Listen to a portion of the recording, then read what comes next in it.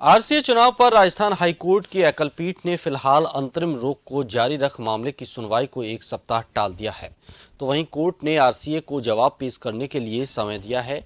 श्री गंगानगर नागौर, अलवर और दौसा जिला क्रिकेट संघों की याचिका पर सुनवाई करते हुए मंगलवार को जस्टिस महेंद्र गोयल की कोर्ट ने ये निर्देश दिए।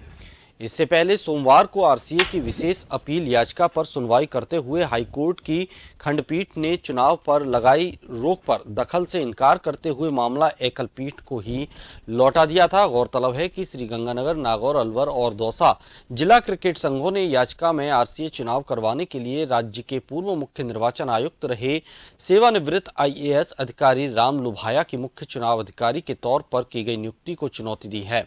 याचिकाकर्ताओं ने उनके चुनाव अधिकारी बनाए जाने पर उनके समक्ष आपत्ति दर्ज कराई थी, लेकिन उन्होंने आपत्तियों का निस्तारण नहीं किया।